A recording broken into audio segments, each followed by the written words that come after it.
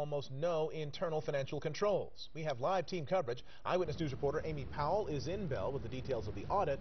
And we begin with Sid Garcia live in downtown LA where the arrested officials were in court today. Sid.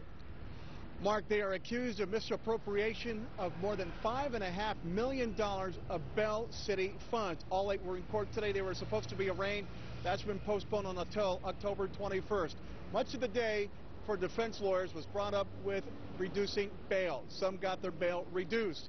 And some also learned that if they are convicted on all counts, they are facing decades in state prison. What was once part of the political and administrative leadership of the city of Bell are now inmates. Their first court appearance was this morning.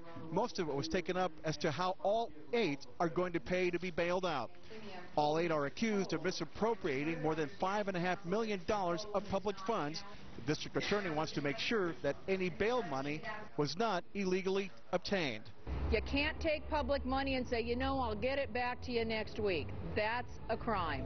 At a bail hearing this afternoon, the seriousness of the charges, according to the judge, constitutes that they will not be allowed to go home on their own recognizance. What bail amount are you requesting? Your Honor, I would, I'm requesting a $100,000 bail or any other amount that is reasonable to, to give the court confidence that Mr. Rizzo will appear. But a small victory for some.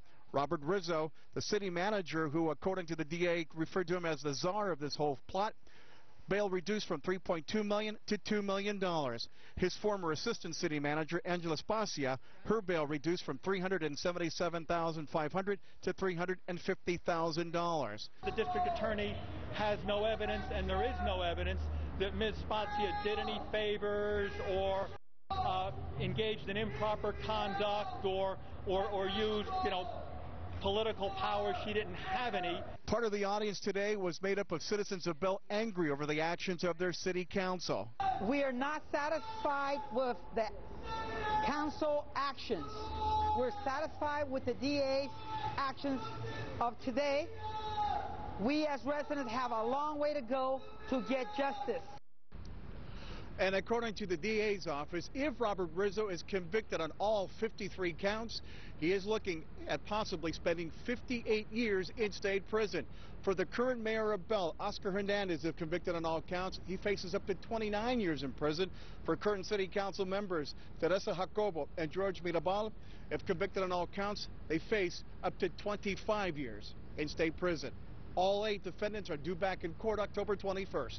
Reporting live from downtown Los Angeles, Sid Garcia, ABC 7 Eyewitness News. Thank you, Sid. As the eight current and former Bell City officials appeared before a judge, a state audit was released detailing the gross mismanagement of tens of millions of dollars in city funds. Eyewitness News reporter Amy Powell is live in the city of Bell with more on what the audit found. Amy? Michelle, officials say the city of Bell had virtually no accounting controls. Auditors have already found a lot of evidence of mismanagement, and they expect to find much more. The state controller's audit details numerous instances of abuse, waste, and fraud in the city of Bell. According to the report, Bell's purse strings were controlled by one man, former Chief Administrative Officer Robert Rizzo. The controller says he used city money like a petty cash drawer. In essence, uh, he was operating the system. He was running the fiefdom. Chiang says Rizzo had complete control over how city funds were used, with no oversight by members of the Bell City Council. Okay. Just for instance, uh, Mr. Rizzo's salary, which increased from 73,000 to $787,000 over that 17-year period. There were supposed to be performance measures and performance evaluations. In our audit, we didn't see that taking place. So how can you justify that type of salary? In addition, more than $93,000 in city funds was improperly used to repay Rizzo's personal loans. And Rizzo also handed out about $1.5 million in personal loans to Bell's well-paid council members and other city officials. And three separate taxes were raised inappropriately, costing Bell residents and business owners around $5 million. They need to put them in jail because they robbed a lot of money from us. And I live here for almost 30 years.